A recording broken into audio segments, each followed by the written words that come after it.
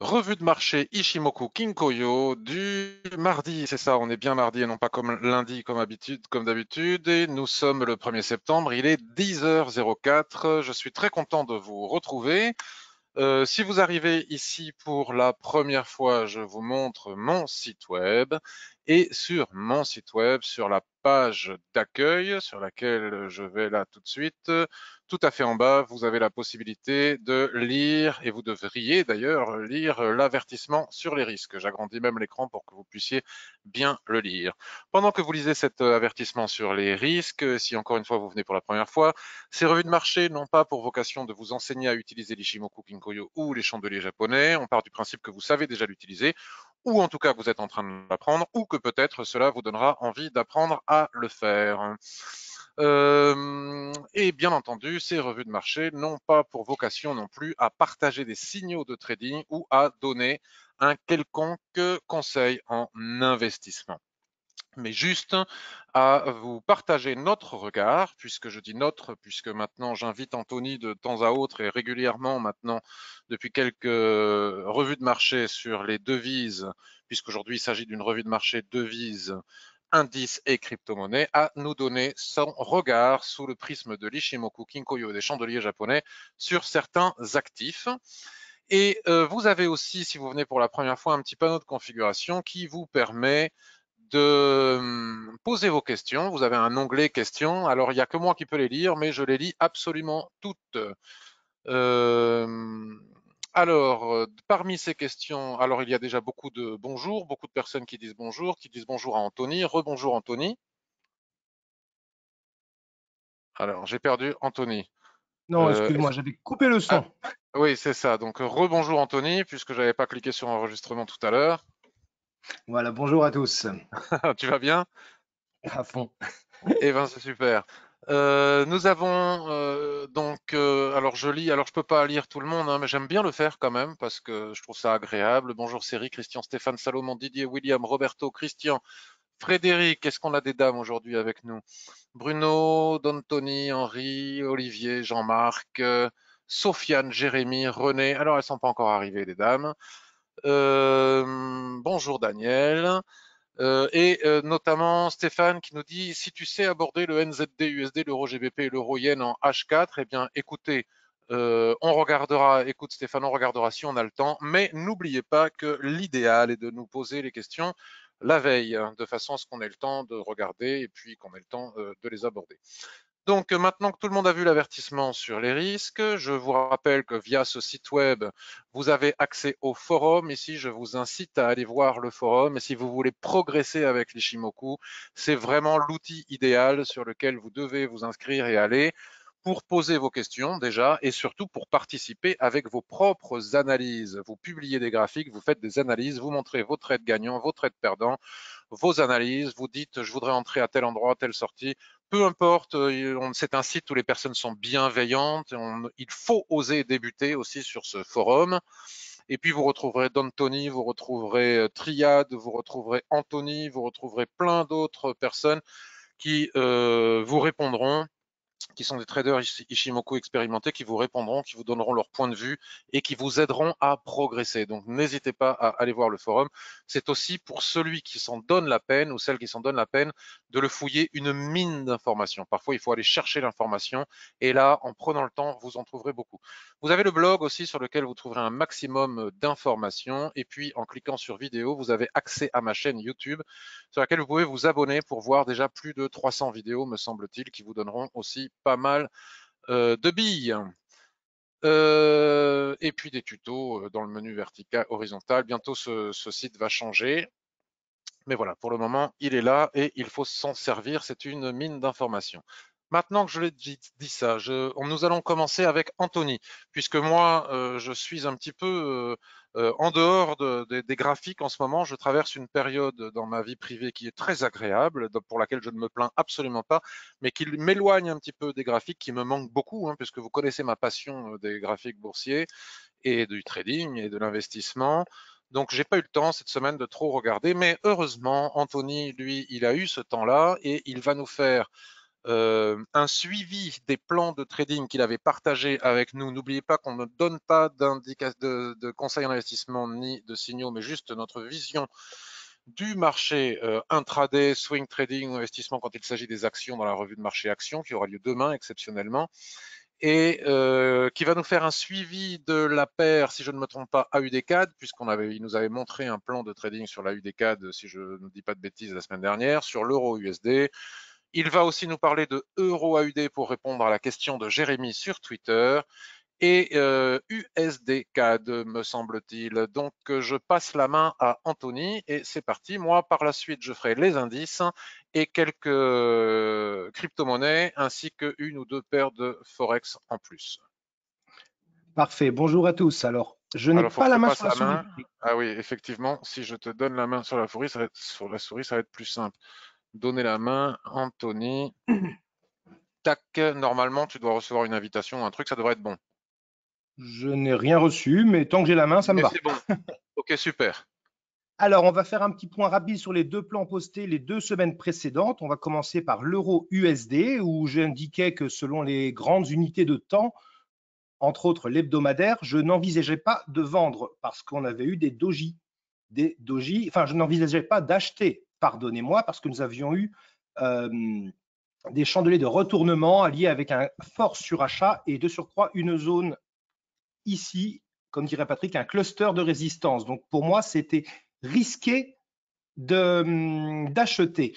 Toutefois, toutefois, nous avions le niveau des 1,20 qui était tout proche.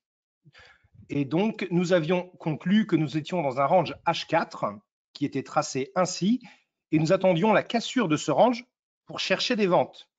Par le bas, bien sûr. Ce range n'a pas cassé par le bas, a même cassé par le haut, et comme vous le voyez, on est monté à 1,20, tout près, tout près des 1,20, 1,20, voilà. Vous voyez, on a touché là, on a vraiment effleuré les 1,20 cette nuit. 1,20 étant un niveau symbolique extrêmement fort, je pense qu'on est possiblement sur un point de retournement à vraiment surveiller. Les chartistes auront, est-ce que tu as les canaux? Oui, c'est superbe. Les chartistes auront vu, hop là, ah non, c'est pas un canal, ça si c'est un canal? Si, ça devrait, ça devrait. Tu le tires vers le bas. Tu les tires ah vers le bas. Je l'ai mal tracé, j'ai plus mes habitudes encore, mais je vais m'y faire. Alors attends, voilà. Ah, c'est qu'il est peut-être pas aimanté là, du coup, sur celui-ci. Voilà, je vais essayer de le tracer bien. Hein. Voilà, on est pas mal. Parce que j'ai un tout petit peu de latence, vous voyez, tac. Et comme on peut le voir, hop là, pardon, voilà, c'est pas facile. Super. On arrive, voilà, le 1,20 correspond à ce haut de canal. droit, sinon tu vas retracer un canal après. Oui, oui j'y ai pensé cette fois-ci, pour une fois. Hop là, voilà. Voilà, c'est ça. Donc, comme vous pouvez le voir, on est à 1,20. Alors, certes, on a cassé ce range H4. Certes, on est haussier en H4.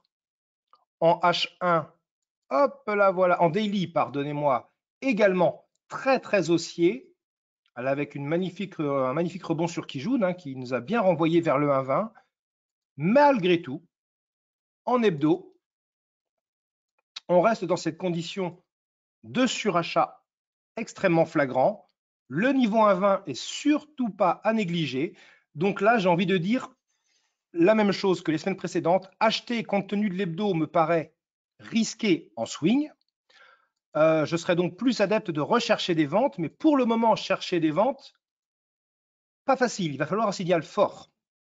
Donc pour moi, ce niveau est à regarder. Je reste à dire qu'un achat reste risqué en swing, toujours, parce qu'en intraday ou pour du, pour du swing d'un jour ou deux éventuellement. Mais là, là, ça me paraît risqué, donc il va falloir surveiller. Voilà, éventuellement la cassure de ce range H4, pourquoi pas? Voilà pour l'euro USD. Alors, est-ce que je peux reprendre la main 30 secondes sur l'euro USD, Anthony? Bien sûr, Patrick. Alors, grâce à ce que tu nous montres, je repasse quelques instants sur le graphique hebdomadaire. Et effectivement, on a là euh, la résistance des 1,20 qui est un chiffre rond, mais maintenant on est sur le point de l'atteindre. On peut presque dire qu'elle a été atteinte. Et si on observe un peu plus haut, on a un nouveau, euh, une nouvelle zone de résistance, une résistance des prix ici, euh, aligner un plat qui jaune ici, aligner un plat SSB ici. Je ne serais pas étonné finalement euh, que le marché veuille y aller. Quoi. un 20, 50. donc effectivement, moi je suis, je partage à 100% ton analyse. C'est totalement suracheté. Donc on ne peut pas acheter un marché qui est totalement suracheté. Ça ne se fait pas quand on respecte les règles de l'Ishimoku avec des prix trop éloignés de la Tenkan-sen. On finit par le payer tôt ou tard. Ou alors on peut dire que c'est trop tard pour acheter. Ceux qui ont acheté, ils sont allés chercher les 1,20. Tu l'avais dit qu'on pouvait aller chercher les 1,20. Donc maintenant, moi j'aurais tendance, si on voulait vendre une correction, il faut peut-être attendre 1,20, 50 euh, pour pouvoir le faire. En tout cas, si on revient sur le H4, je suis d'accord avec toi. L'idéal, ce serait d'avoir des soulèvements ici, des, soulèvements, c'est-à-dire des mèches hautes au-dessus de ce cluster de résistance, au-dessus du canal que tu nous as montré, au-dessus des résistances, et avec un beau gros chandelier de retournement euh, japonais, ici peut-être aller chercher la, la Kijun et vendre. Oui, je parle bien de zone et pas de niveau 1,20. C'est la zone mm. autour des 1,20, comme tu l'as tracé, 1,20-35. Voilà, c'est cette zone qu'il faut surveiller. Hein. Après, on est sur des entrées en hebdo ou en daily, donc attention, il ne faut pas se précipiter. Très bien. Voilà. Je vais aller donc voir l'AUDCAD également. Nous avions fait un plan sur l'AUDCAD. Vous allez dire. Alors, Jean-Marc, je t'interromps 30 secondes, je lis les questions. Jean-Marc nous dit demain, emploi US à 14h15. On est quel jour demain? Est ce qu'il faudra surtout surveiller, c'est le NFP euh, vendredi. Est-ce que ça peut être un catalyseur et un déclencheur? En intraday, oui, mais enfin, euh, bon, pour le moment, euh, le, dollar est faible, il reste faible et il continue à être faible. Donc, quand est-ce qu'il va y avoir une correction Je ne sais pas, mais je ne suis pas persuadé que l'emploi US en ce moment puisse être un catalyseur d'importance sur l'euro USD, mais plutôt des niveaux techniques. J'ajouterais même que les élections américaines sont dans un mois. On est en septembre. Mmh, mmh. Ah, c'est un peu la même chose. Il va pas falloir oublier, il va pas falloir négliger ça. Non. Ok, c'est parti pour la UDCAD. La UDCAD, la UDCAD, nous avions un plan également, pareil, je vais, très, je vais essayer d'aller assez vite. Hein. voilà, nous avions un plan éventuellement, vous voyez, nous avions tracé un range avec ce plat SSB euh, qui était juste au-dessus. On se disait, on va chercher, même chose, un signal de vente. On peut voir que le range a été cassé. En revanche, les prix sont venus taper ce plat SSB. Du coup, même chose, surachat énorme. On a eu des chandelisations, on a eu un grand avalement, mais on n'a pas cassé le plus haut. Donc pour moi, l'étoile filante ici n'a pas été invalidée. Alors là, on a sous les yeux euh, une magnifique configuration de, continuation en chandelier japonais. Hein. Oui. trois méthodes ascendantes. Mais surachat m'empêche Trois méthodes ascendantes, mais sous résistance. Sous résistance. Et après, c'est perso, hein, mais je dirais que le, point haut de cette étoile filante ici n'a pas été cassé. Donc pour moi, l'étoile filante n'est pas encore invalidée. Donc là, on est vraiment dans, un, dans une zone où on ne sait pas. Voilà. Tout l'intérêt d'aller voir les unités de temps inférieures. Hop là, pour aller voir euh, si on aurait un éventuel signal. Nous avions tracé ce rectangle comme potentiel range en cas de baisse, et on voit que, bah, vous voyez, la Kijun avait bien repoussé. J'avais dit qu'ici, ça aurait été un bon moment. On était sur la hum, SSA, donc j'avais dit qu'il fallait attendre parce qu'on était sur support, et on voit que la SSA, qu'on néglige énormément, a parfaitement tenu. Donc pour le moment, les prix sont en train de revenir en haut du potentiel range daily, euh, avec une petite pénétrante hier. C'est très hésitant acheter, même chose, risqué compte tenu de l'information euh, du surachat et de la résistance en hebdo. En daily, on est au-dessus de la Kijun. Donc, euh, c'est trop tôt. C'est trop tôt pour vendre et c'est trop risqué pour acheter. Donc, pour moi, je reste dans cette idée. Tiens, je vais juste, hop la matérialiser la Kijun Daily ici, qui, je pense, doit être en plein cœur d'un range H4. Hop là, H12 exactement, pour ceux qui connaissent mes, articles sur, le, sur les ranges. Euh, donc là, qui joue vous voyez, bon, bah, est ici. Donc attendre. Vous voyez qu'en H4, là, on a des configurations qui montrent que ça s'essouffle. Le surachat est en train de se réguler.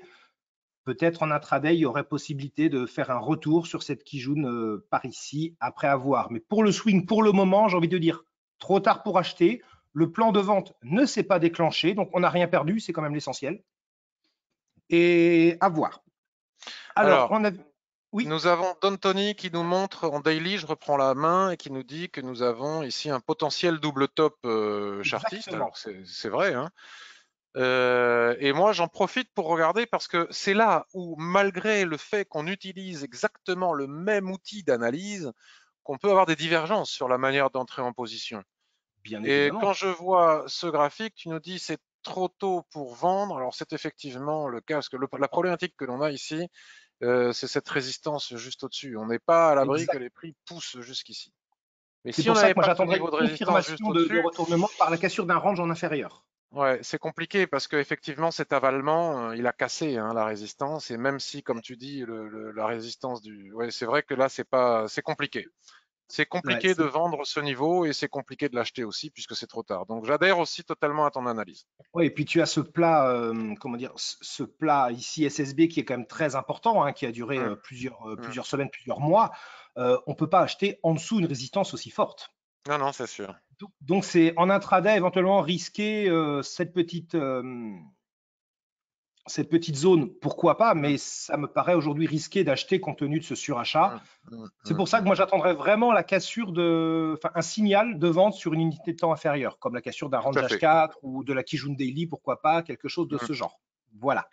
Tout à fait. USD CAD, USD CAD.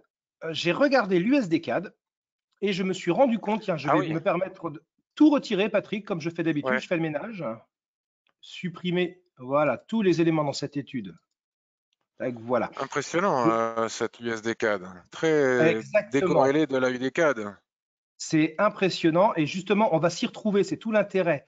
En mensuel, je vais aller très très très vite parce que qu'est-ce qu'on voit en mensuel? On a eu un twist Kumo. En deuxième, alors certes, le nuage est légèrement Ah, orienté. on t'a perdu là, Anthony. on m'a perdu? Est-ce que vous m'avez retrouvé? Ah, ça y est, ça y est, on t'a retrouvé. Ça y Ah, est, bah. Et un petit peu de lag, peut-être ta connexion Internet qui bug un petit peu actuellement, c'est possible aussi, pour une fois que c'est pas la mienne. Donc, je, je disais en mensuel, effectivement, on voit qu'il y a eu deux twists. On peut donc tracer un range. Ainsi en mensuel. Allez, je mettrai la borne basse ici. Parce que vous voyez que la pointe du dojici est venue toucher. Donc, je définirai la borne basse de ce range à ce niveau-là. Les chartistes auront vu superbement le double top ici. Avec une ligne Mhm. de coup en bas de range. Comme quoi, il n'y a pas besoin de faire du chartiste. Michimoku nous l'indique déjà. Vous voyez, ligne de coup, cassure de ligne de coup pourrait Mhm. nous renvoyer vers le bas. Donc, par contre, attention, nous avons ici, tac, sous la Chikou, nous avons ce support direct avec ce plat qui jaune. Donc, zone, attention à surveiller, Chikou dans les prix. Bon, on est en pleine zone d'équilibre du range. hein. De toute façon, il y aura énormément de support et de résistance. En revanche, en hebdo, en hebdo, c'est extrêmement intéressant parce que là, c'est simple. On voit cette SSB plate, la SSA qui danse autour, c'est un range. C'est un range. Hop là. Je vais me fier. Hop là, pardon. Ah, un petit peu de, petit peu de lag. Pardonnez-moi. Voilà pour le tracé du range. Et on peut voir autre chose qu'on oublie très très souvent, c'est le niveau de bas de ce range. Regardez, les prix sont à 1,29, 98, 99. Donc on est sur le niveau 1,30. J'avais hum, j'ai regardé dimanche pour effectuer ce plan et je disais que hum, j'avais oublié que la revue était mardi. Euh, en intraday, il y aurait eu moyen d'aller chercher ce niveau 1,30. On m'a voyé comme quoi mon plan se serait pas Mm. mal déclenché finalement. Mais là, on est en swing. On arrive sur une zone de support très importante avec ce support mensuel. On est dans la zone d'équilibre du range mensuel, donc attention. On est sur un niveau des prix ronds à 1,30 en bas d'un range hebdo.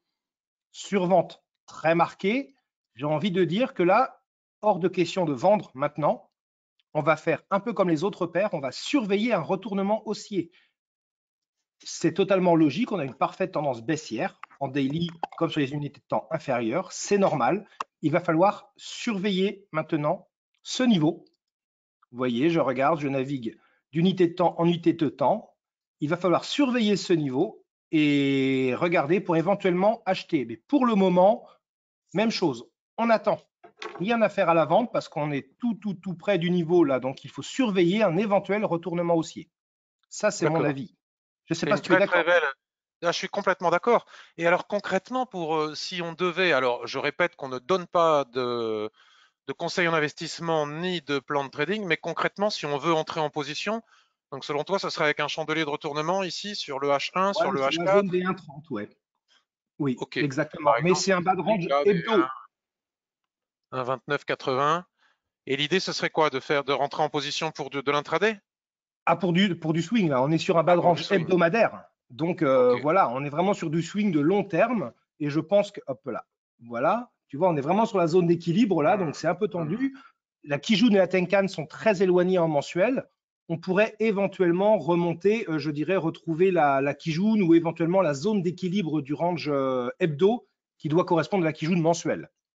Alors en plus, si je rajoute quelque chose, par le passé, il y a maintenant de très longs mois, euh, lorsque les prix remontaient hein, de l'USD CAD, j'avais indiqué ce cluster ici de résistance aussi. À l'époque, c'était une résistance.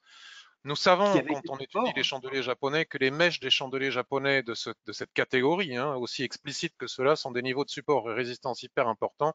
Et c'est pile poil le niveau qu'on est en train de, travailler. lorsque les prix remontaient, le temps qu'il aura fallu, un mois, deux mois, trois mois, quatre mois, cinq mois, six mois, les prix pendant six mois, les prix sont venus tester ce niveau de résistance ici, pour finalement repartir vers le bas. Et puis quelques mois plus tard, réattaquer à nouveau ce niveau. Regardez ici comme ce niveau a été travaillé. Donc on est vraiment sur un très gros support, on est vraiment sur une très grosse zone de polarité qui pourrait tout à fait justifier euh, ton plan. Et même si on regarde en arrière, voilà, regarde ce niveau 1,30 est très important. Hum, hum, hum. Même, vous voyez, en janvier 2004, il avait été travaillé. Alors, à contrario, s'il casse par le bas, là, c'est la Bérésina, quoi. Eh ben, exactement, un bas du range ici, et puis après, bah, pour, hein, les chartistes, hein, Tony saura ce que je veux dire. Question de la ligne de coup, on retourne mmh, mmh. tout en bas. Hein. Alors effectivement, c'est tout à fait euh, tentant d'envisager euh, un achat. Alors je répète qu'on ne donne pas de conseil d'investissement, ce n'est que notre point de vue analytique euh, via le prisme de l'Ishimoku. Tenter un achat sur cette zone avec des chandeliers de retournement à partir du graphique daily, par exemple, pourrait être tout à fait pertinent. Avec un stop, par exemple, euh, un stop euh, sous la SSB ici, euh, au niveau des 1,27, 1,26,50. Ouais, un stop très très large. Déjà en dessous cette mèche. Mmh. Voilà, il y a mmh. déjà une mèche ici, il faudrait peut-être. Voilà, donc c'est pour ça que c'est voilà, il faut. On est vraiment sur du swing. Hein. Après, voilà, c'est ça. Faut pas que ça casse. Si ça casse, bon, ben, c'est perdu. Mais c'est comme ça, ça fait bah, partie du. voilà. Après, là, on est sur une zone compliquée hein, en, en, mensuel. Donc, Bon, ça reste à surveiller, mais je pense que, étant donné la survente actuelle, visible sur toutes les unités de temps, euh, essentiellement l'hebdo, la zone de support, on peut s'attendre à un pullback. Après, c'est toujours le même problème. USD. L'USD actuellement, attention. Hum, hum, hum. Alors, on a un commentaire de Habib qui nous dit AUD4, puisqu'on parlait tout à l'heure de l'AUD4 en weekly, l'écart entre la Tenkan et la Kinjun lui paraît important. Donc, tout à fait, Habib, je ne sais pas si tu étais là au moment où Anthony a fait l'analyse, c'est exactement euh, le sujet de l'analyse euh, précédente, on est tout à fait d'accord. Bon, mais super pour AUD4. On passe à Euro AUD pour répondre à Jérémy qui voulait une analyse je voudrais juste faire une remarque avant de passer sur l'Euro AUD très rapidement. On a un éventuel plan de retournement sur, sur euh, l'AUD-CAD de retournement baissier, ce qui voudrait donc dire que l'AUD deviendrait plus faible que le CAD. Hmm. Là, on vient de faire un plan de retournement haussier sur l'USD-CAD, ce qui voudrait donc dire que l'USD pourrait redevenir plus fort que le CAD. Hmm. Donc, très bêtement, on pourrait avoir, je dis bien au conditionnel, hein, si tout se, se hmm. concrétise, on pourrait avoir une paire AUD-USD assez explosive. Tout simplement si on prend le cas en référence. Allons jeter un œil à AUD-USD. Est extrêmement suracheté AUD-USD, voilà. Tout simplement, on pourrait avoir, là on est en mensuel, eh bien regardez, on est pile poil sous ce plat, ici qui jaune, aligné à ce plat SSB. En hebdo, voyez, la corrélation des paires est très importante. Hein. Mmh, mmh. En hebdo, on avait tracé un range, mais après, est-ce qu'il était bien tracé ou est-ce qu'on aurait dû le mettre là? Bon, ça prête à, interprétation, j'ai envie de dire, mais ce que je vois principalement, c'est la même configuration, pardon, que sur euh, ce qu'on a pu voir tout à l'heure. Des chandeliers et on a une grosse poussée haussière. C'est normal, c'est la UD, la semaine dernière. Mais on est extrêmement suracheté sous résistance, donc impossible d'acheter. Et même chose, on peut surveiller un retournement baissier, tout se tient. Alors, c'est-à-dire qu'on a eu aussi euh, euh, la Fed euh, et Powell jeudi dernier qui a continué qui qui a expliqué, qui nous a laissé entendre que les taux resteraient extrêmement bas aux États-Unis pendant très très très longtemps, ce qui ne contribue pas à faire remonter le dollar. Euh, Exactement, c'est pour ça que l'on parle bien de technique. Alors, quand est-ce que ça va s'arrêter? Parce que c'est vrai qu'on euh, assiste quand même à une situation assez exceptionnelle. Hein. Moi, j'ai rarement vu des poussées haussières, euh, comme par exemple là, sur, enfin, baissières comme le dollar, aussi long sur le marché du Forex ou sur le marché des actions. C'est quand même très impressionnant. Donc, prédire, malgré l'analyse technique, quand est-ce que ça va s'arrêter, ça reste compliqué. Alors, on peut tenter, on peut tenter, mais à un moment donné, il va bien falloir que ça s'arrête, c'est sûr. C'est très, très, très compliqué. C'est pour ça que tu dis, il y a la Fed, il y a toute ce monnaie, il y a le Covid, les élections en plus. Je reste à dire que ça peut être un gros, gros chamboulement quand même. Donc voilà, c'est un peu compliqué, quoi. Mais je voulais montrer cette corrélation entre les, les, différentes paires. Voyez, mmh, si on prend mmh. deux plans avec le CAD, et eh ben, il suffit de réunir les deux autres. Mmh. Et donc, on a un plan qui est tout fait, quoi. En tout cas, on arrive en conclusion, en résumé, on va voir maintenant l'euro AUD. En résumé, que ce soit sur l'euro USD tel que tu nous l'as montré, sur euh, l'AUD USD euh, ici, hein, comme on peut le voir rien qu'avec les prix, que ce soit sur l'USD CAD ou encore sur l'AUD CAD, on est sur des niveaux de support ou de résistance extrêmement forts euh, qui ont joué leur rôle par le passé et qui pourraient peut-être être mis à profit pour prendre, pour faire des bénéfices, pour faire des trades en tout cas pour entrer en position.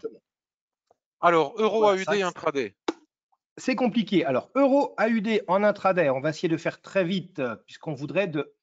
Hop là Puisque nous voudrions un plan, Jérémy nous demandait pour un plan intraday. Alors là, je suis sur l'hebdo. Eh bien, regardez, en hebdo, déjà, on ne peut pas oublier, négliger... Je hein, tout ce que j'ai écrit là. Hein oui, on ne t'inquiète pas, euh, ça, ça va être un petit peu loin. Hop là, voilà, supprimer ici. Ah non, pas ça. Si Ah bah non, ça c'est autre chose, ça donc non. Bon, c'est pas bien grave de toute manière. Donc les prix, vous voyez, il y a un plat SSB juste en dessous de la Chikou en hebdo. Et là, juste au-dessus, on a une SSA qui est plate. Voilà. Et on a également en hebdo la Tenkan ici. Donc on a tracé, vous voyez, trois niveaux directs sans négliger le niveau ici qui est à 1,6232. Tu peux tracer aussi, hein, comme ça on l'a. Comme ça on l'aura également, même si c'est vrai que contrairement à toi, je privilégie les supports, les résistances directes. Hum. Et je prête moins d'importance aux extensions, mais c'est un niveau qui a quand même beaucoup fait travailler les prix, donc il ne faut hum. surtout pas l'obliger. En mensuel, est-ce qu'on a une information? C'est de l'intraday, donc je ne fais pas d'analyse spécifique. Euh. En mensuel, eh bien, pas grand-chose de nouveau. Hein. On a un petit plat ici, Tenkan, mais qui est retrouvé sur l'hebdo. Donc, on revient très rapidement en daily. Qu'est-ce que je vois en daily? Eh bien, je vois que nous sommes en range.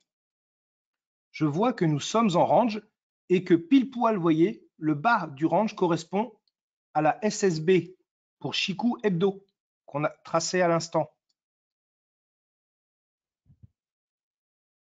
Voilà le range daily. Vous voyez, on a le twist Kumo. Moi, je le tracerai comme ça. Je pense que tu es d'accord, Patrick? Je, suis d'accord. On voit ici bon, toute la zone d'équilibre qui est là. On a la Kijun également. Donc, on a là, on est partagé sur cette unité de temps. Ah, pardon, c'est un petit peu décalé là. Est-ce que je peux la déplacer ou pas? J'ai l'impression que tu n'es plus aimanté. C'est possible. Voilà, c'est pas bien grave. Voilà. Donc là, on est partagé sur cette unité de temps parce que les prix devraient retrouver théoriquement le bas du range. Mm. Toutefois, ils ont cassé la zone d'équilibre, ils n'ont pas effectué de pullback. On est en survente.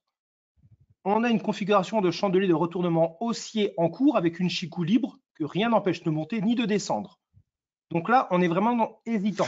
Et alors attends, je prends la main euh, quelques instants supplémentaires parce que ce que l'on observe aussi ici, c'est toujours embêtant quand on a ce type de configuration, c'est qu'on a le support qui était bien marqué ici, qui était bien marqué ici, qui est bien. Là, on a un excès.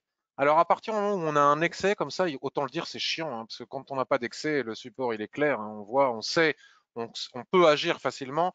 Là, quand on a un excès comme ça, il est toujours difficile de déterminer si les prix vont prendre appui sur ce support pour remonter ou s'ils vont continuer jusqu'à l'excès précédent. C'est exactement, tu vois, tu, j'allais changer. J'ai anticipé sur ce que tu voulais dire. Non, mais j'allais oublier de le préciser, tu as très très bien fait. D'ailleurs, on le voit avec les prix, mais également, vous voyez, avec l'Achikou qui nous permet de montrer, c'est superbe. Du coup, en intraday, en daily, on est très hésitant. C'est très simple. En H4, qu'est-ce qu'on voit? Eh ben, on voit qu'on est dans une tendance baissière, mais en excès. Et on voit qu'on a pareil des configurations de chandelier de retournement haussier avec une Tenkan qui a été cassée, qui fait actuellement support. Je vais la matérialiser ici. Donc, j'imagine bien que là, on doit avoir un range sur une unité de temps inférieure, ce que nous précisait Jérémy hier sur Twitter. Et ça ne loupe pas, que comme vous le voyez bien en, en H1, pardon, hop là, je zoome un petit peu, les prix travaillent la Kijun, je ne vais pas retracer le même niveau, hein, Ici, cette Kijun est plate, ce qui montre donc euh, l'existence d'un range en M30 qu'on va aller tracer sur le M15. Mais c'est simplement voilà. Donc, je vais basculer en M15 et on doit avoir exactement voilà ce que nous pensions, cette Kijun H1 qui fait office de zone d'équilibre du range. C'est propre. C'est impeccable, voilà. Donc pour répondre à Jérémy, euh, je dirais qu'on voit parfaitement Pardon, je l'ai tracé un petit peu large, mais vous me pardonnez. Non, mais c'est hein, bon, c'est bon. Voilà. Euh, on est en plein dans un range M15 avec le fameux support que Patrick nous a montré qui fait office de borne basse de ce range. On a une résistance au-dessus. Actuellement, compliqué. Les prix ont touché le bas du range, vous voyez, travail. Ça ressemble à une belle configuration, euh, vous voyez, de, de, de, hausse. Mais bon, on est actuellement... Ouh, gros mouvement là on est actuellement quand même en train de travailler une zone d'équilibre de range compliquée. On va attendre de voir ce qui va se passer si les prix montent jusque-là, jusqu'en haut de ce range, pour éventuellement ensuite chercher un achat. Mais cette résistance, je ne sais plus ce que c'est. Enfin, on l'a euh, tracée, donc elle est là, elle est bonne. C'est la, la, résistance en extension mmh. hebdo, tu vois. Donc, on pourrait éventuellement, si on casse à la hausse, remonter, chercher les résistances et éventuellement, je n'ai pas tracé la, la Kijun H4. Si on casse à la baisse, eh ben, on a un bas de range ici. Hein. On a un bas de range daily avec cette fameuse résistance, ce fameux support pardon, que tu as tracé. Donc, cassure, pullback, et on pourrait aller chercher celui-ci en intraday. Pour le moment, on a un range M15 qui montre l'hésitation du marché entre monter, descendre sur une zone de support bien marquée. Donc, il faut surveiller et attendre la réaction des prix. C'est ce range M15 qui nous dira euh, bah, si les prix cassent ou se retournent à la hausse, tout simplement. Voilà, Patrick. Le sens de notre trade. Eh ben, écoute, c'était parfait, c'était très clair, euh, c'était très intéressant parce que tu nous as offert euh, des plans de trading, tu as partagé des plans de trading pour du swing. Donc, je résume pour ceux qui seraient arrivés en retard sur l'euro USD, l'USD CAD, la UD CAD. Qu'est-ce que j'ai oublié d'autre? On a fait l'euro USD, l'AUD CAD, l'USD CAD, l'AUD USD. Et l'AUD USD. Et là, on a une vision euh, intraday euh, qui est tout à fait intéressante où grâce à ton analyse sur les unités de temps supérieures en partant du mensuel et en remontant, on trace nos niveaux de support et résistance. Ça, c'est exactement tel que je l'enseigne dans la formation, ça tombe bien. Euh, si on casse par le bas, eh bien, on sait quel est le niveau que l'on peut aller chercher. Hein. c'est celui qui, selon moi, a ma préférence puisque nous sommes toujours dans la phase baissière du range, mais étant donné que nous ne savons pas si les prix vont aller chercher l'excès baissier, si ça casse par le haut, ici, il n'y a pas beaucoup d'espace, on va dire que si ça casse au-dessus des 1,6233, la voie est relativement libre pour aller chercher les 1,6270 en intraday. Est-ce que ça te convient, euh, Jérémy? Oui, c'était très clair. Tu nous dis tout va se jouer sur le M15, donc en intraday. Alors, euh, c'est parfait. Merci, Anthony. Donc, moi, maintenant, je vais basculer sur les indices et ensuite, euh, on regardera l'Ethereum et le Bitcoin. Est-ce que vous avez des questions? Des commentaires à faire?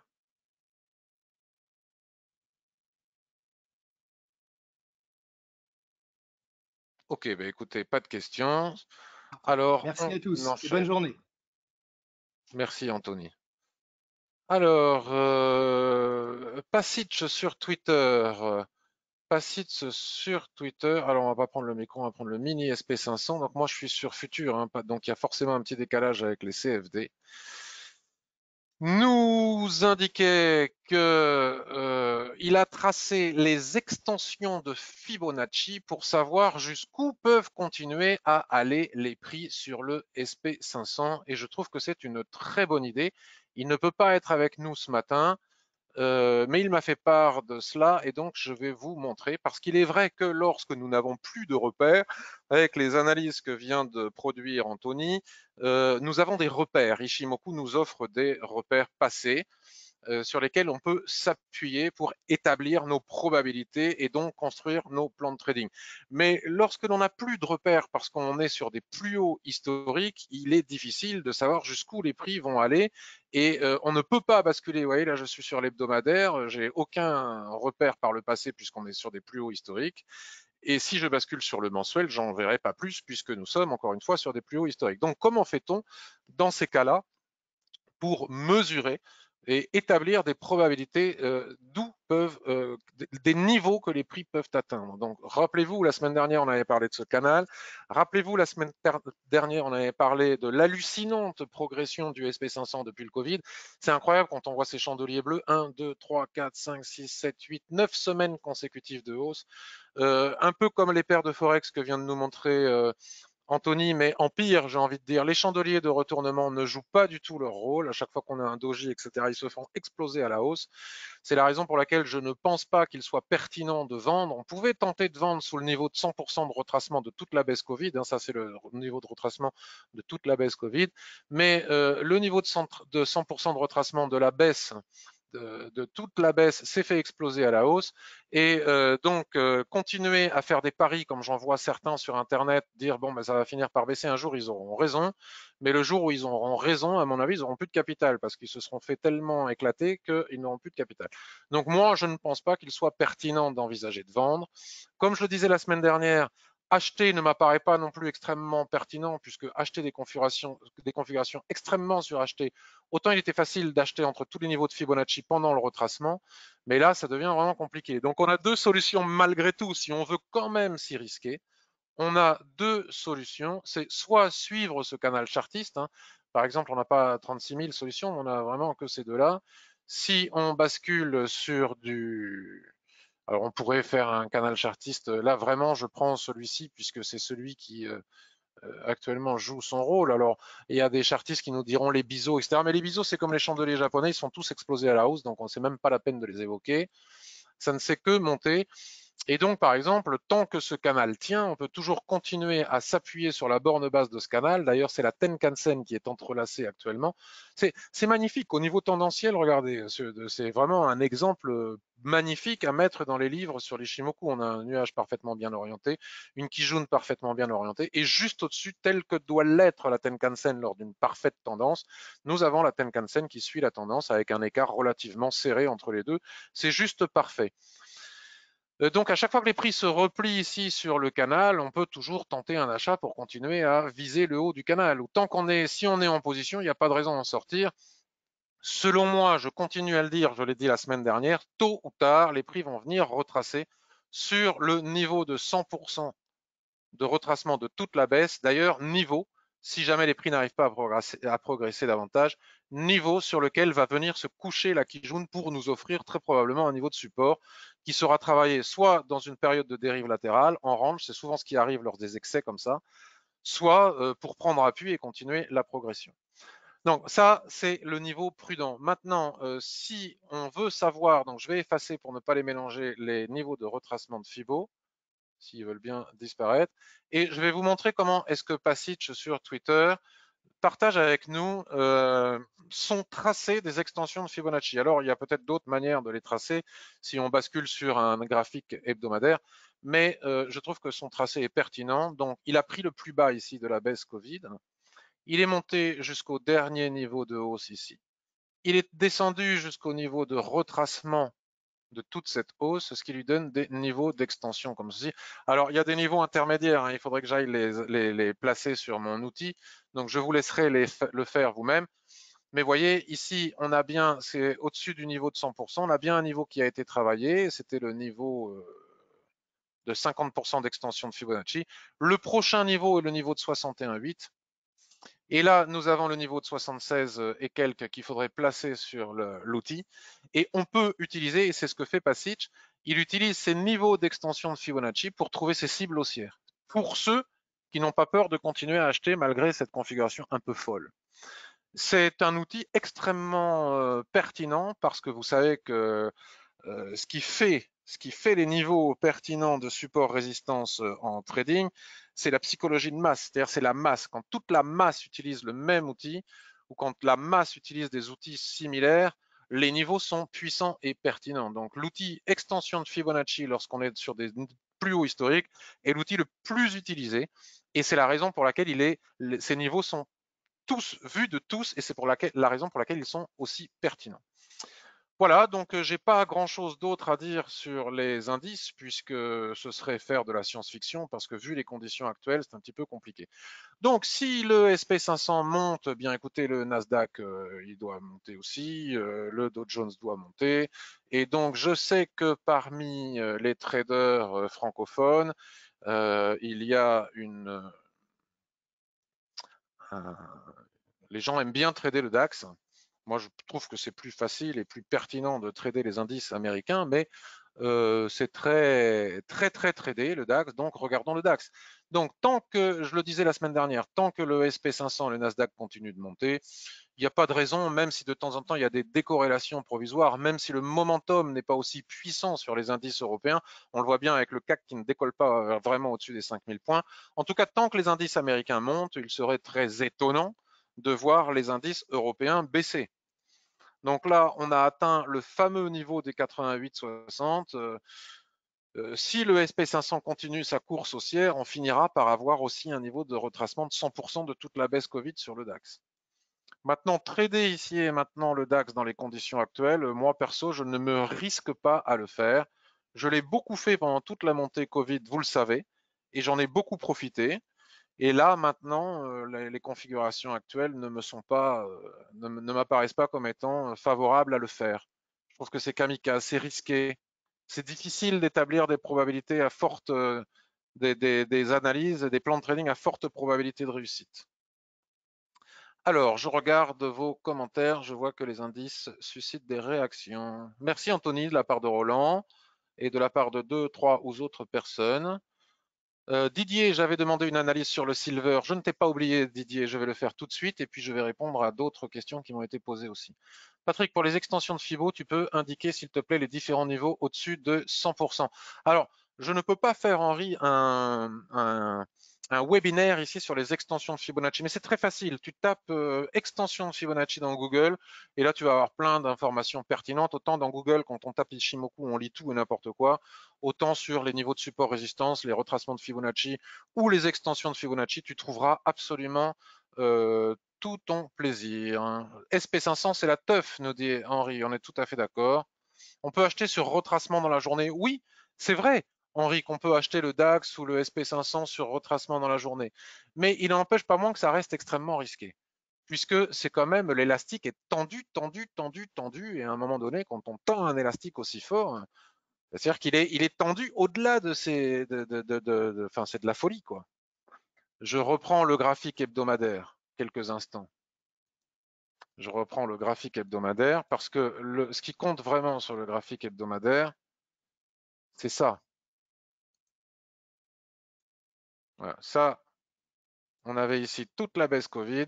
Ici, on a le niveau de 100% de retracement. Et c'est quand même hallucinant qu'en ayant repris toute la baisse jusqu'au dernier point haut avant la baisse, on n'ait même pas eu une réaction ici. Ça me paraît juste hallucinant. L'écart entre la Tenkan-sen et la Kijun-sen, c'est même plus qu'il est, euh, qu'il est trop important. Il est juste euh, extrémissime, comme on le voit rarement. Donc, à un moment ou à un autre, il va y avoir un retracement. Et, c'est imprévisible. Donc, si tu t'appuies en intraday sur un, mouvement de retracement en intraday pour aller chercher quelques points à la hausse, tu peux tout à fait réussir à le faire et ça marche depuis.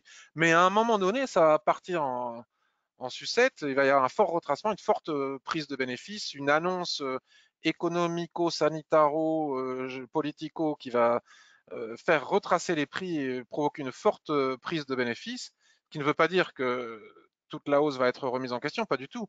Et si on entre en intraday à ce moment-là, ça va faire mal. Bon, ceci dit, dans le pire des cas, on prend un stop et puis voilà. Hein. Euh, alors, j'ai compris l'outil pour les extensions. Comment se nomme notre collègue Et on blase sur le forum? Alors, j'ai pas compris la question. Euh, peut-être que j'ai pas compris.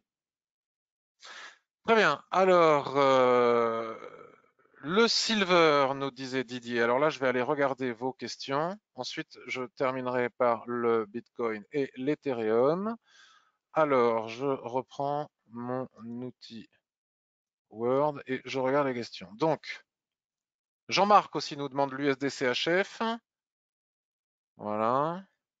Est-ce que j'oublie quelqu'un? Et euh, Didier et Jean-Marc. Alors, Didier, Question sur le spot silver. Alors, c'est très à la mode aussi, hein, le gold, le silver. Alors, ceux qui me suivent depuis longtemps, vous savez ce que j'en pense, moi, du gold. Je fais partie de ces très, très rares personnes qui n'y touchent pas et qui n'ont pas du tout envie d'y toucher.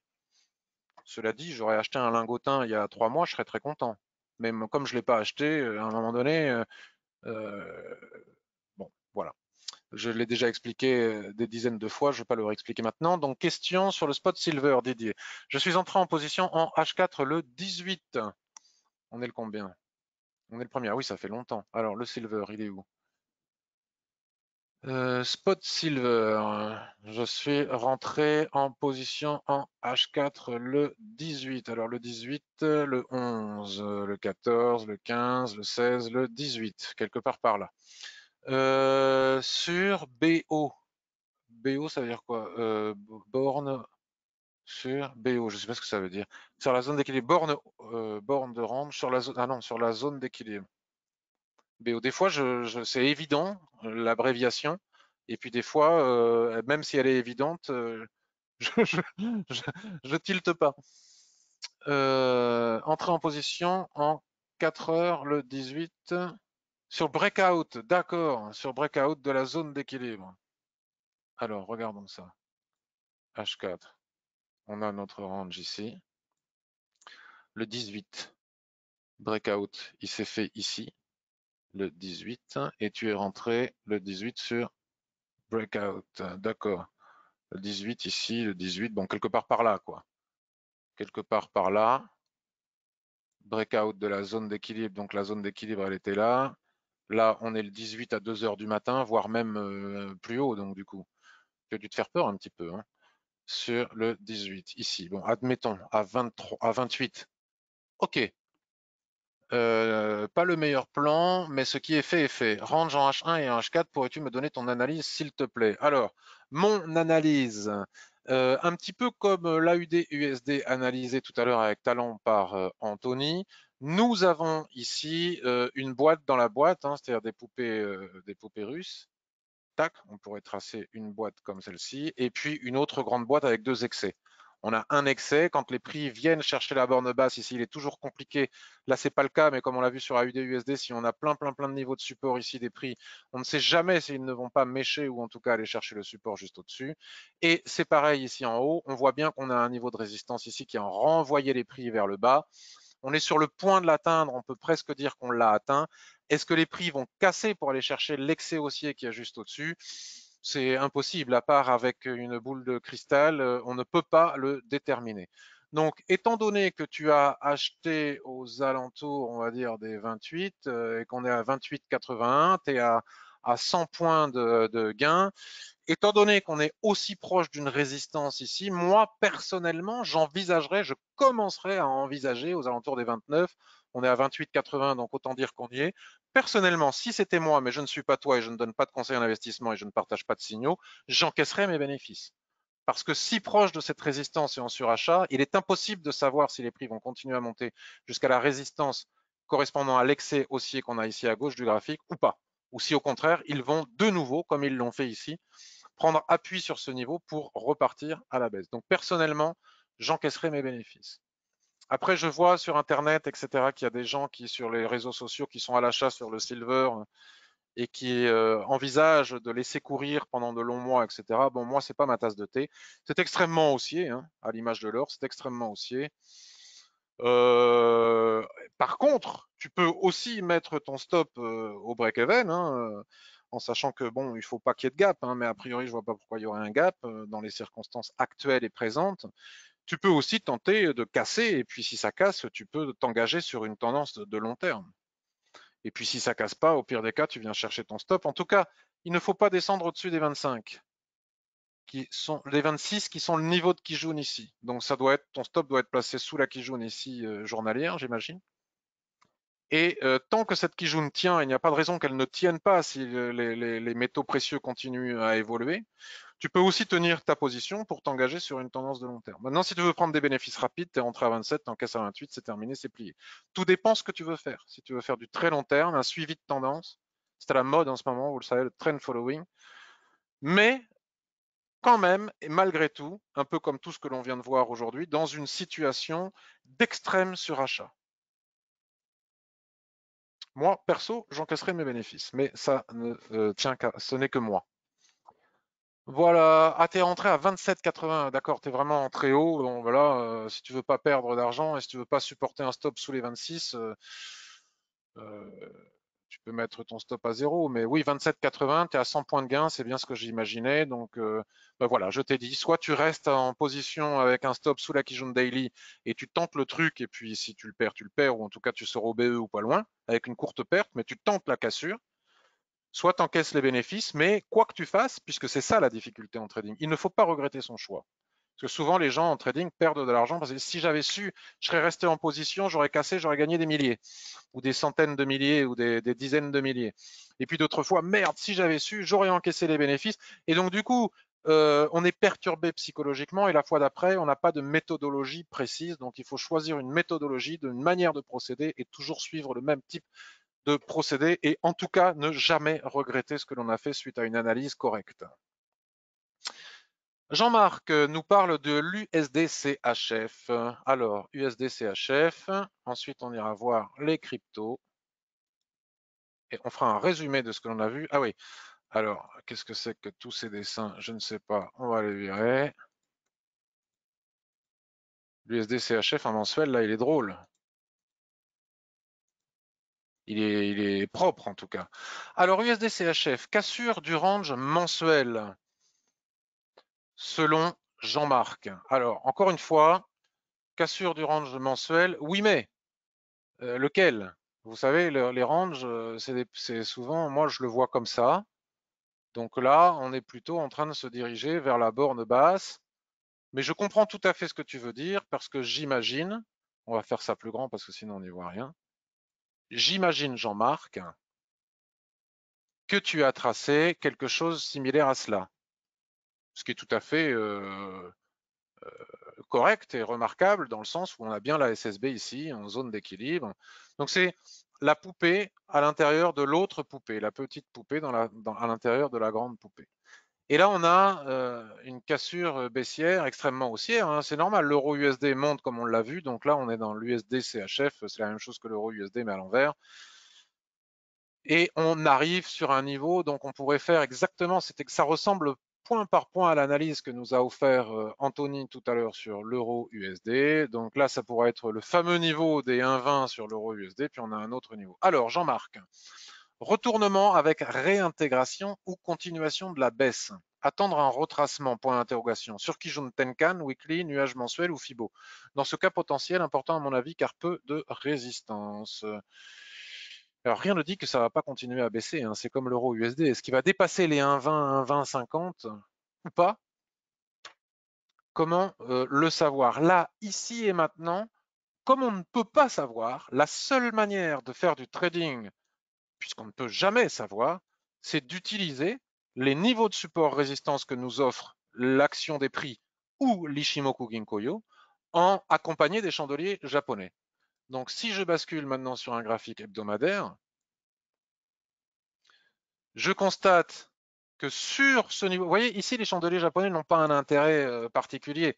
Les gens qui n'ont pas compris les chandeliers japonais les utilisent n'importe où. Mais on n'utilise pas les chandeliers japonais n'importe où. On a bien tracé ici nos niveau de support résistance. Regardez comme ce chandelier bleu a parfaitement bien réagi sur un niveau de support. Donc ici, ce doji porteur d'eau n'a pas un grand intérêt. Ici, ce, on peut pas parler de marteau à cause de la mèche, mais admettons ce marteau ici euh, n'est pas, n'a pas, bon, enfin, il touche quand même un peu.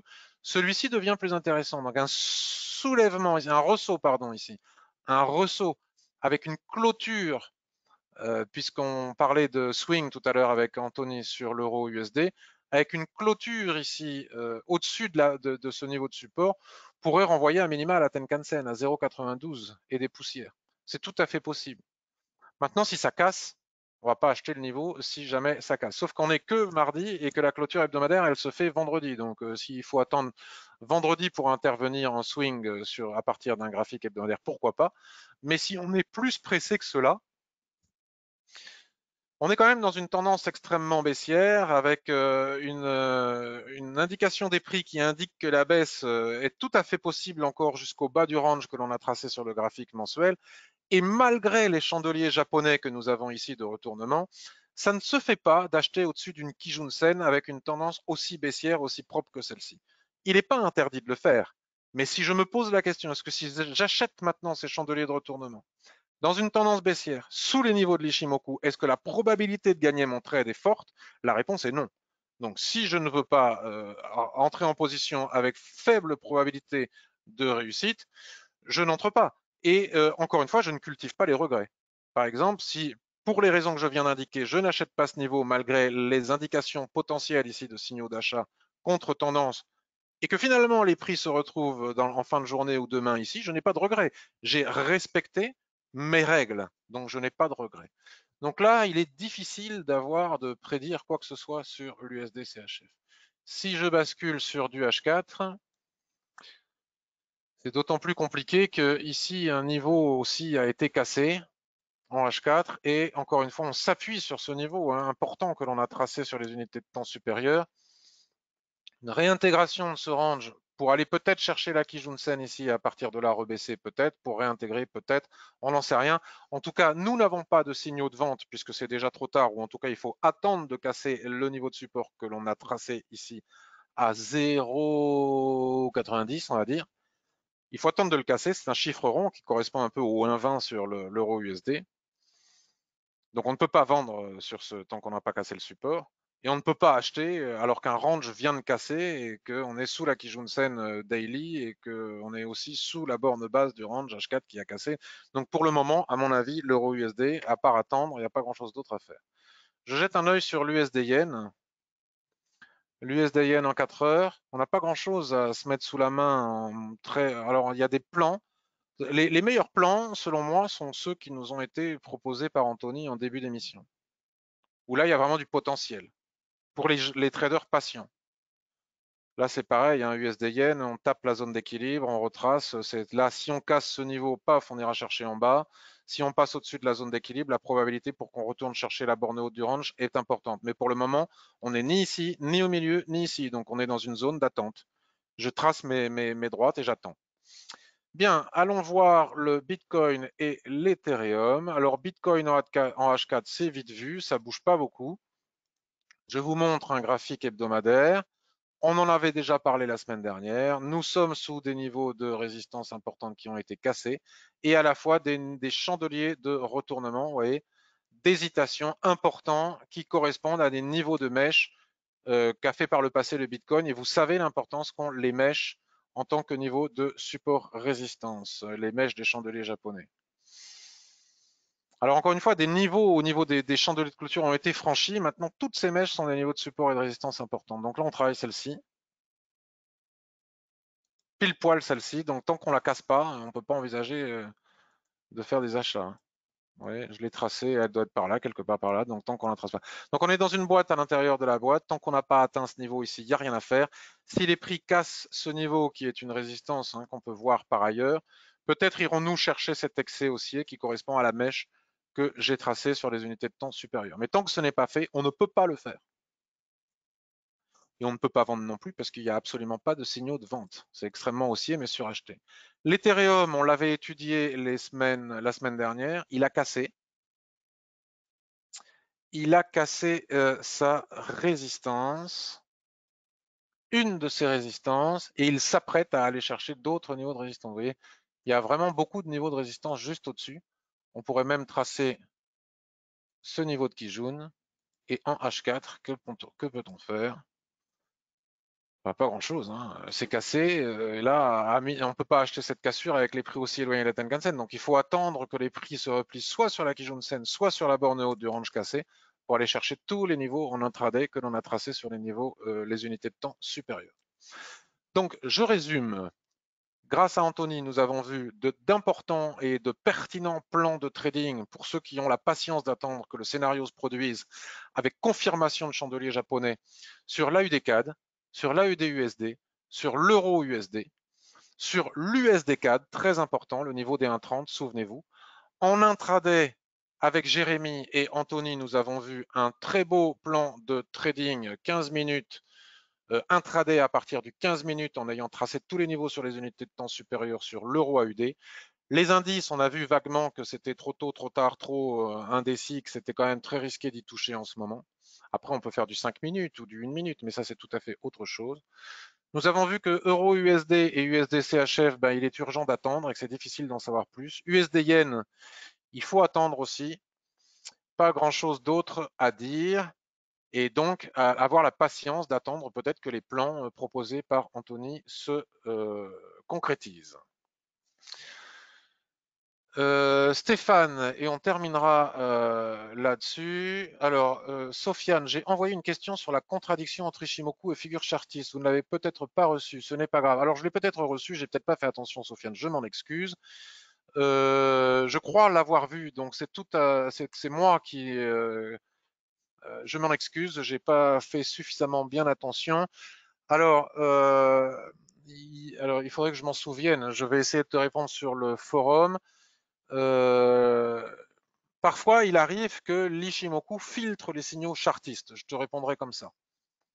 Et c'est d'ailleurs, si ma mémoire est bonne, ce que tu me dis toi-même. C'est-à-dire que si tu as un signal chartiste qui n'est pas validé par l'Ishimoku, soit tu choisis de suivre les analyses Ishimoku, soit tu choisis de suivre les, analyses chartistes. Tu peux utiliser l'Ishimoku en traçant les droites de tendance chartiste de base, par contre, euh, tu m'avais parlé, me semble-t-il, d'une ETE, mais euh, je remettais un petit peu en question le tracé de ton, de ton ETE. Donc, euh, je m'excuse, Stéphane, Sofiane, j'ai pas regardé en détail ta question. C'est de ma faute. J'oublie rarement de le faire et là, je ne l'ai pas fait. Donc, toutes mes plus grandes et mes plus plates excuses. N'hésite pas à reposer une autre question similaire ou me la reposer pour la semaine prochaine. Et cette fois-ci, je te le promets, j'y répondrai. Donc, je m'excuse. Et euh, Stéphane, pour terminer, euro-yen pour du range en H4. Euro-yen pour du range en H4.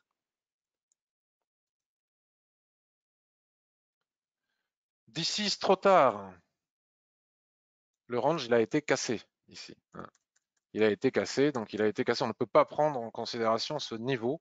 Il faut prendre en considération ce niveau. Alors bon, pourquoi pas après tout, tu me diras. Je dis ça, mais on peut aussi donc là, quand on a un doute sur le bon, si en fait, je, m'excuse, je dis des bêtises, je retire ce que je viens de dire. On peut absolument prendre en considération le niveau actuel, puisque nous voyons bien que le niveau de résistance est là. Il est là, il était légèrement cassé quand même. Hein. Quand c'est cassé, c'est cassé. Et si on tient compte des touchettes ici, on peut le faire. Alors c'est moins pratique que quand on a vraiment des niveaux euh, de clôture exactement au même endroit, mais on peut le faire. Je vérifie quelque chose. Bon, on a bien notre niveau de 50%. Quand on a un doute, et uniquement quand on a un doute, on peut regarder sur la SSB. Et donc, Euroyen, ben oui, euh, tu as tout à fait raison de, nous le montrer. Nous avons ici un doji. Donc là, les prix sont venus chercher la zone d'équilibre. Ils n'ont pas réussi à casser. Nous avons ici un doji qui a été repris. Nous avons ici un deuxième doji porteur d'eau. Nous avons ici une configuration en étoile du soir qui est en train d'être dessinée.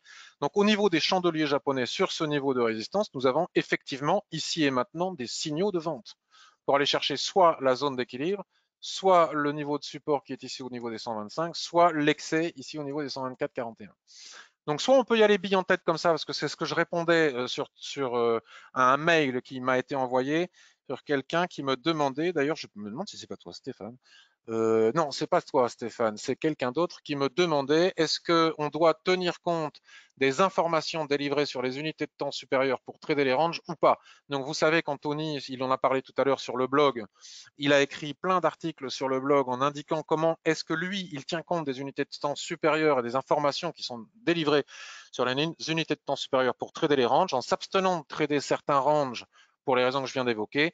A contrario, moi, je dis que, et ce n'est pas contradictoire, c'est juste une différente manière de procéder. Si on agit mécaniquement, robotiquement, toujours de la même manière, par exemple, quelqu'un ici qui ne va pas voir ce qui se passe sur les unités de temps supérieures, qui, grâce à cette configuration telle que je l'enseigne dans ma formation, détermine qu'il peut vendre ici pour aller chercher, à condition d'avoir à minima le ratio de 1 pour 2, et c'est ça qui est important, qu'il peut vendre ici pour aller chercher la zone d'équilibre, voir les niveaux que j'ai indiqués précédemment, sans aller regarder ce qui se passe sur les unités de temps supérieures, peut le faire et il n'a pas tort de le faire, mais à la stricte et rigoureuse condition d'agir systématiquement toujours de la même manière. Parce que si une fois vous le faites et vous y allez et vous perdez le trade, donc, comme vous perdez le trade, bah, la fois d'après, vous dites, ben merde, la prochaine fois, je vais aller regarder ce qui se passe sur les unités de temps supérieures. Donc, en allant regardant sur les unités de temps supérieures ce qui se passe, la fois d'après, vous ne le faites pas, puisque vous déterminez que sur les unités de temps supérieures, ce n'est pas validé. Vous ne le faites pas, et là, patatras, ça marche. Merde, alors là, vous vous dites, ben merde, si j'avais su. Donc, la première fois, vous avez perdu. La deuxième fois, puisque vous avez perdu, vous avez eu peur, vous avez voulu faire autrement. Et c'est ça aussi qui fait perdre en trading. Bon, ben, la prochaine fois, eh ben, cette fois-ci, je ne regarderai plus à nouveau sur les unités de temps supérieures. Vous faites à nouveau, vous reperdez. Finalement, euh, c'est un embroglio psychologique qui se met en place et ça devient compliqué de faire des gains.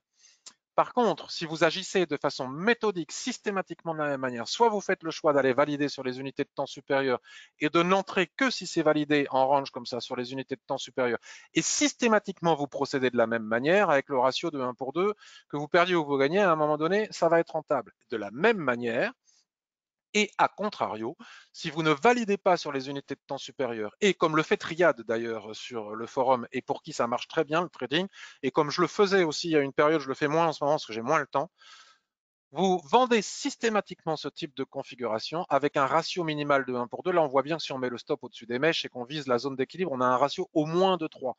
Donc, vous gagnez trois fois ce que vous auriez pu perdre. Donc, admettons que vous, auriez, vous ayez misé 3 euros, vous gagnez 1 euro, pardon, vous gagnez 3 euros ici. D'accord? Vous avez gagné. La fois d'après, vous le refaites, vous perdez. Vous perdez 1 euro. Vous êtes toujours en gain de 2 euros. La fois d'après, vous le refaites, vous perdez. Vous avez perdu 1 euro. Vous êtes toujours en gain un gain d'un euro. Vous, êtes toujours, vous avez perdu deux trades, vous n'en avez gagné qu'un, mais vous avez gagné un euro. La fois d'après, vous le refaites, pim, vous gagnez au moins deux ou trois. Donc ça s'accumule. Et donc, systématiquement, en agissant toujours de la même manière, en respectant un ratio, à terme, on est systématiquement gagnant en procédant de la sorte sans pour autant aller valider sur les unités de temps supérieures. Donc là, je n'ai plus le temps, donc je ne vais pas aller voir ce qui se passe sur les unités de temps supérieures. Je vous laisse le choix de faire votre propre choix mais on peut vendre à condition de pratiquer systématiquement la même méthodologie, ce type de configuration, sans aller regarder ce qui se passe sur les unités de temps supérieures. Voilà, voilà. Oui, en plus, on peut l'associer avec les volumes. Absolument. Tu as tout à fait raison, Mathieu. Si en plus de ces configurations ici, vous faites, vous entrez en position avec ces chandeliers de retournement sur borne haute de range avec de forts volumes, vous multipliez encore une fois vos chances de réussite. Sur les ETE, Mathieu nous dit qu'il faut être vigilant, on en voit partout. Encore, voilà. Ah non, c'est sur les ETE que tu disais qu'il fallait euh, euh, voir les volumes. Je vous souhaite une excellente journée. Euh, alors Mathieu dit où est la question sur le forum pour la contradiction chartiste Ishimoku? C'est un mail qui m'a été envoyé, mais n'hésite pas Sofiane à le publier sur le forum et comme ça, ça suscite le débat, l'interrogation, les questions, les réponses et à plusieurs, on avance sur ce sujet. Merci à toi, Daniel. Merci Roberto, euh, René. Nous avons des remerciements aussi pour toi, Anthony. Merci à vous tous. Je vous remercie de votre écoute. N'oubliez pas de mettre plein de pouces bleus sur les réseaux sociaux, sur euh, YouTube. Et si vous avez la possibilité de retweeter, si vous êtes sur Twitter, vous voyez passer euh, ma vidéo que je vais publier sur Twitter, n'hésitez pas à le retweeter. Je vous dis à demain matin pour la revue de marché Action qui exceptionnellement a lieu demain mercredi et non pas mardi et à 10h30. Bye bye à tous et merci beaucoup. Bonne journée.